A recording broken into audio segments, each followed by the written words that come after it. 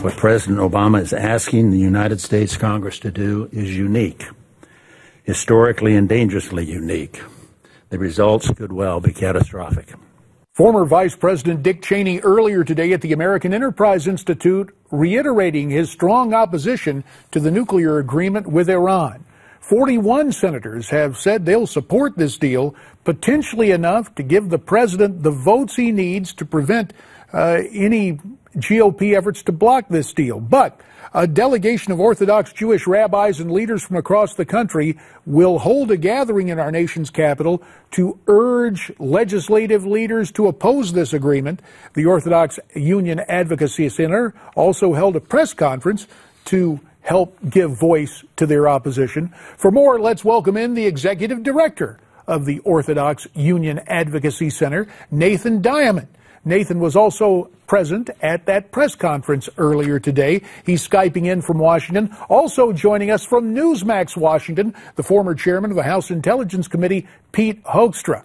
Uh, Nathan, let me get your thoughts on this. Your reaction to Dick Cheney's strong message today. Is his opposition and your group's opposition too little too late?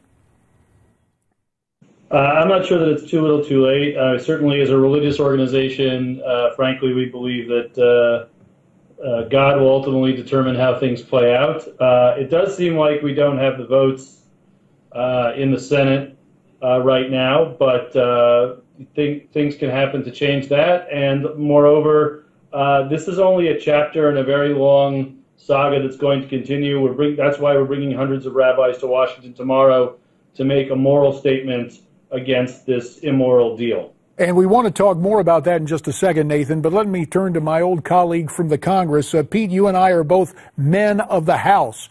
Can you ascertain maybe we need divine guidance when it comes to the ways of the U.S. Senate? But is there anything you see reversing the trend and uh, unlocking some of those votes the president claims to have in favor of his stance? No, I think that uh, it's probably pretty clear that the president has the 41 votes that he needs, not only to sustain his deal, JD, but more importantly, he may use those 41 votes to make sure that there's not even a vote on the agreement uh, in the United States Senate, that there may just be a vote to proceed, which will not pass uh, which means that there will not, the U.S. Senate will not even be on record as to who supports this agreement and who opposes this agreement, other than through a procedural motion. Mm. Nathan, uh, you and members of your group, I believe, went in and met with the president, and you came away from that meeting convinced that this agreement will lead to a stronger Iran. What did the president say to you and other members of your group that, that led to, um, to this interpretation? Um, well, look, what's, what the president has answers uh, to many of the criticisms that have been brought up with regard to various provisions of the deal. Uh, we bring up the fact that um, there's a 24 day delay in inspections uh, uh being able to occur at military sites around Iran.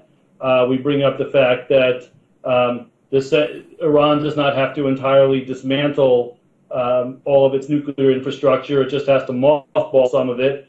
And so in a period of time, they'll be able to, uh, to, to revive their nuclear weapons program. And the president has answers to all these things. What the president does not have an answer to, though, what is absolutely undeniable, is that if Iran sticks to this deal, First of all, in 15 years, they get to become a nuclear threshold state with the blessing of the international community. And secondly, much sooner than that, as soon as later this year, Iran will receive tens of billions of dollars in sanctions relief, and they'll be able to use that money for more mayhem and terrorism across the region. So, whatever the answers are that are out there, what we've not heard an answer for, because there is no answer, is that this deal gives greater legitimacy and more great, greater power to the Iranian regime. And those are reasons enough that why the Congress should reject this deal. And reasons enough why you'll hold that rally tomorrow. Briefly, Pete, uh, Colin Powell showed up on NBC's Meet the Press on Sunday. Here's what he had to say about the appro- uh, proposed agreement. Let's take a listen, then we'll get your reaction. I think it is a good deal. I've studied very carefully the outline of the deal and what's in that deal. And I've also carefully looked at the opposition to the deal. And my judgment after balancing those two sets of information is that it's a pretty good deal. Uh, is that an honest assessment, Pete, or is this some sort of Washington score settling by the former Secretary of State?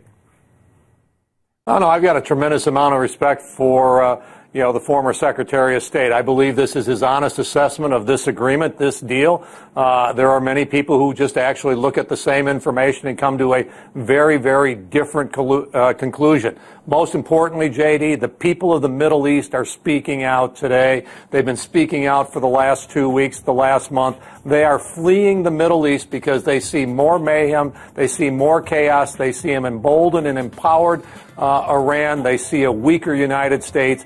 It only we will have to leave it there. Gentlemen, you have our thanks.